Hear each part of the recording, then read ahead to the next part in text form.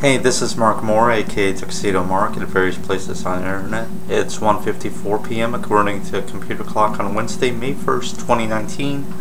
And I just want to show you the latest stuff that I got um, since my last video. And in this case, it's just one item. Betty and Veronica's Guide to Life. This is one of those books that uh, Miramax put out back in like 2005 uh, when there was supposed to be an upcoming live action Betty and Veronica movie, like an actual theatrical film. Archie Comics even advertised it on their site saying it was coming soon, but it never materialized. But we got all these tie-in products to get people ready, and I've got a whole bunch more sitting on my desk over there. I don't know if you can see it. Can you see it?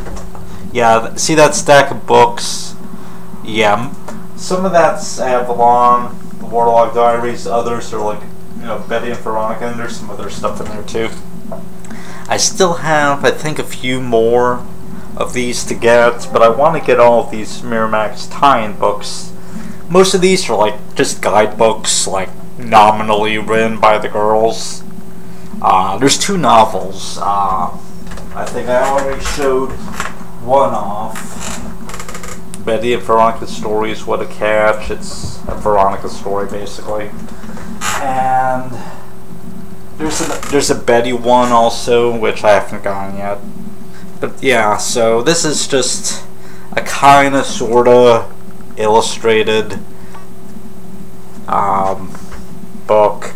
In fact, I, I, I recognize this picture of Veronica um, in the Betty and Veronica stories. Uh, what a catch book, except it's black and white.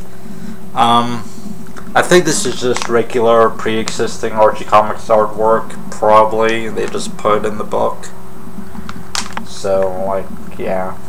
It's basically just a guide to life. Yeah. Uh, I think there's also a guide to friendship. Hang on. I'm not sure friends forever. I think there's a guy that crushes. I, I don't remember all of it now, but anyway. So yeah, that's what I got.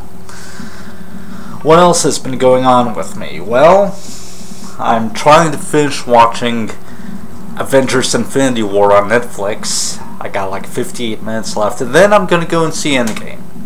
Which apparently everyone in the world is saying. But yeah, I'll probably see it on one of my days off, but it's three hours and one minute long, so that's a lot of time to devote to it. Particularly if I'm driving like a half hour to and from the theater, like a half hour each way. And then there's the previews. It's not even counting the previews. But anyway, yeah, I'll I'll get around to that. I don't know when I'll post a review of it, but yeah. Um, Netflix, I recently watched No Good Nick. It's a series starring Melissa Joan Hart and Sean Astin. I watched the first part. It's 10 episodes. It's a cute sitcom. Um,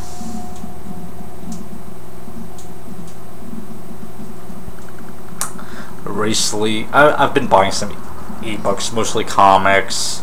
I got uh, Marie Kondo's book, I had on my wish list. I got an email saying it dropped to $2.99, so I snatched it up. Um,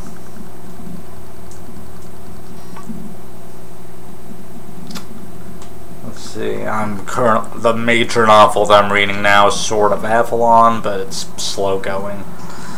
Um, what else am I doing? Not much. Um, that that's about it. So um, yeah, uh, it's 1:58 p.m. and thanks for watching.